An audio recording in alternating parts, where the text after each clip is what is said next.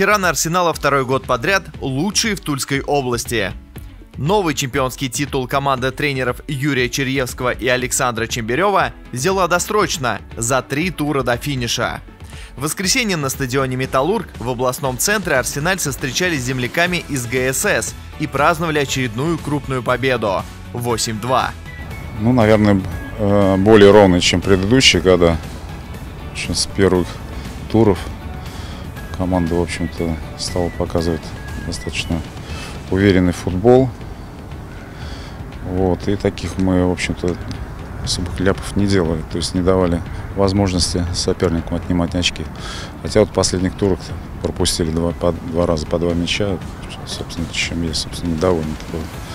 Преимущество ветеранов Арсенала отражают цифры. В турнирной таблице чемпиона опережает ближайшего конкурента Тульский машиностроитель на 10 очков.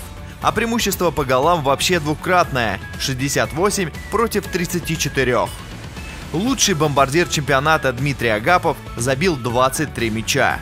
Наверное, все-таки это больше моя работа. Я играл практически всегда в нападении. А в такой мастеровитой команде оказаться втройне мне приятно, потому что я ввиду своего всего времени в команде мастеров ни разу не играл, так получилось.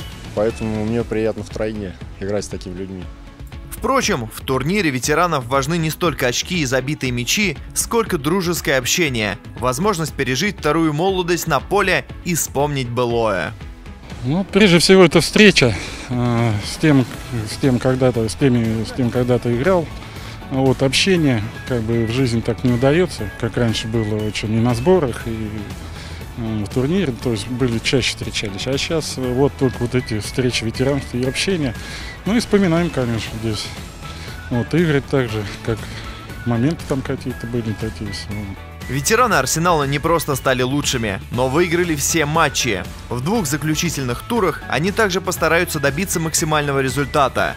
Арсенал значит чемпион. Будь в курсе самых интересных событий оружейников. Подпишись на Арсенал ТВ.